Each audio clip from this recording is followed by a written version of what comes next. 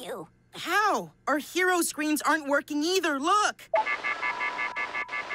No prob. I'll just teleport around town and ask people what they want. Be back in a snap.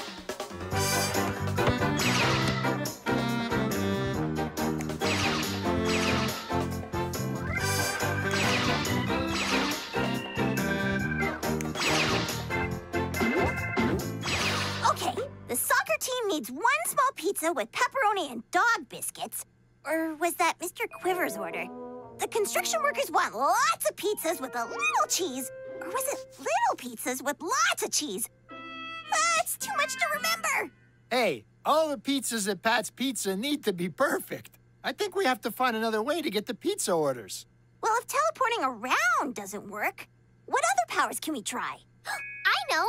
We can use our superpowers by about the problem. We know we have to get a message A pizza order? from the people who want pizzas to Mr. Pat. But the people are far away and their phones don't work. So, what are some other ways to send a message from far away? How about when I get the pizza orders, I just shout them? I can be really loud! We know. But if you're too far away, I'm not going to hear you, no matter how loud you shout. Hmm. Thought projecting. What if Sara shouts the pizza orders to Benny, then he shouts them to me, then I shout to Lucita, who tells Mr. Pat? Ooh, I like this plan. Then let's test it out. Come on!